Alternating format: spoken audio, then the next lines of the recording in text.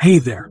Today, I'll show you how you can complete the equipment upgrade that will give you more plates on deployment. Please keep in mind that parts of this are currently bugged, and they probably will not be in the future. This includes the kill streaks instantly counting for the second stage and not getting a fifth plate once the third stage is completed. I'll also include a bonus tip regarding the third stage and how you can easily complete it. I'll explain a bit more about each once I get to that point in the video.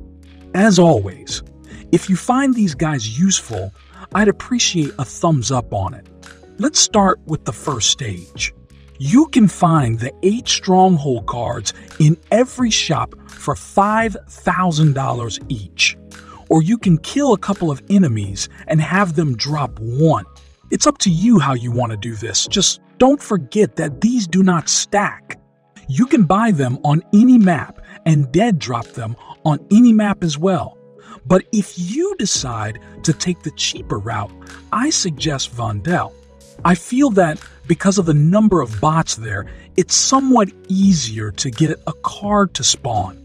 For the skeleton key, it's fairly self explanatory. Keep in mind that the key can have just one use left on it, and the progress will update when you drop it, so save those pristine keys for something else.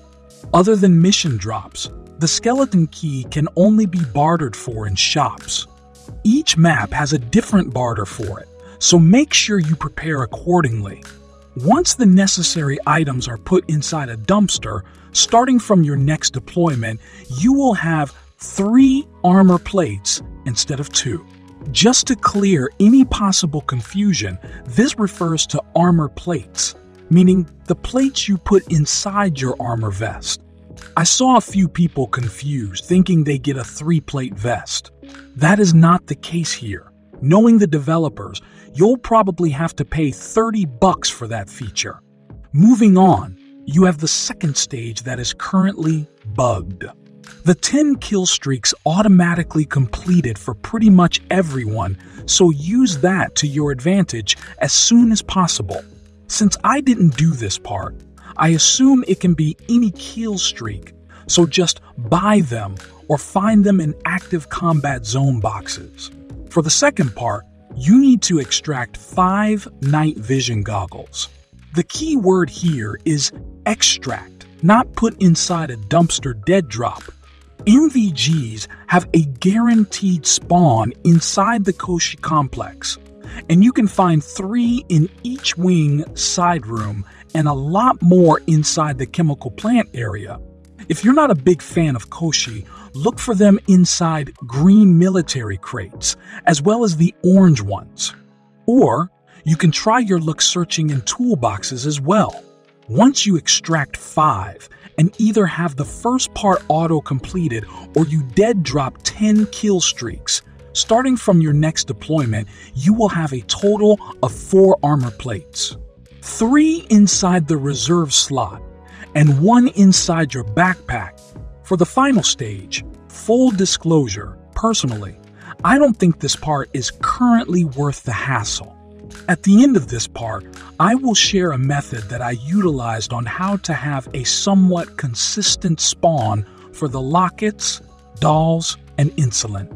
It took me about 20 games of constantly looking for these 15 items, excluding the dog bank and cat statue.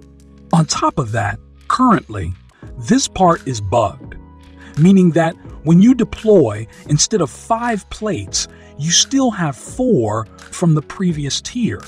This will hopefully be fixed, and I can see it being useful in building 21, for example. So it's up to you what you want to do. To extract five heart lockets, you need to keep your eyes open. This is what you are looking for. Now, they can spawn in a few different places and can even drop from killed bots. I have seen that these bots need to be either tier 2 or 3 in order for them to spawn. I have never seen it drop from the level 1 bots. But if you have, I'd love to know, so please let me know in the comments below. I have seen a few locations where this is fairly common, such as lockers and inside hidden caches. For me, personally, lockers in Al Mazrah seem to give the most of these lockets, but I bet it's just dumb luck. They can also spawn inside jackets. And of course, killed bots can have a chance to drop few. Here are two that I don't need anymore because I completed the task. Does anyone else feel that the game intentionally spawns more of the things you don't need? Moving on, you need five vials of insulin. These things are extremely small and can be hard to see, especially if a bot you killed drops it. It can also spawn inside hidden caches, but it's very random. What I suggest is to go to Vondel and open medicine cabinets. Personally, I have never seen it spawn inside a first aid kit, but instead, I've seen it a lot inside medicine cabinets. Almost every house in Vondel has a medicine cabinet. The two bike parking toilets have three each as well. For me, Vondel was the place to get these vials, and that is where I suggest you try your luck as well. Next on the list are small dolls. I had so many issues finding this item, and when I found my last one, my game crashed. Sad times. Similar to the previous two items, small dolls can be found pretty much anywhere. They can be found inside jackets, as ground loot dropped from higher tier enemies and from lockers. Personally, I had the most luck finding these inside armories in Al Mazrah. Just look for ammo depots inside buildings. That's the armory. Eventually, you will find five. I do have a bonus tip on how you can try and find all these items. Personally, this method did not work for me, but I see a lot of players report that it's working for them. So grab or barter for a fire department key, go to Vondel, and loot the entire building. Focus on the lockers and the jackets because these two are where you have a chance to find either vials of insulin, toy dolls, or even heart lockets. I cleared the fire station about six times, and I only found one heart locket and a few insulin vials. You can try this method, or try to loot lockers found inside warehouses in Al Mazrah. Try to loot jackets inside normal houses and look on tables. It's not consistent. It's definitely not fun, but it's part of an equipment upgrade. The dog bank and cat statue are an Ashika Island exclusive item.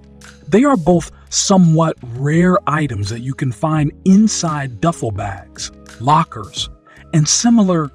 The good part about these items is that once you find one and extract it, you get to keep it what I suggest you do is, as soon as you find one of these, head for extraction and head to either Vondel or Al Mazrah.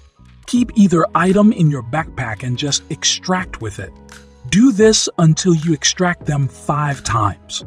Now, again, once you extract all the necessary items currently, you won't get your fifth plate, so there's that. And that should be it. If you need help or players to play with, I put a link in the description for a Discord you can check out. As always, thanks for watching.